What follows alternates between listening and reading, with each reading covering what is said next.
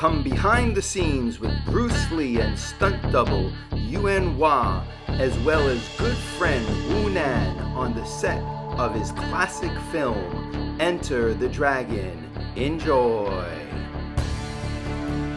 What's up guys, Charles Damiano back from the Bruce Lee Collection for another exciting episode. And continuing with my series on showing you guys some rare Bruce Lee photos from my collection, I'm putting together this episode which I know you guys are going to enjoy. And I may even put in some rare short footage of Bruce Lee to supplement this episode. So for now, enjoy another series of my rare Bruce Lee photos and sit back and enjoy the show.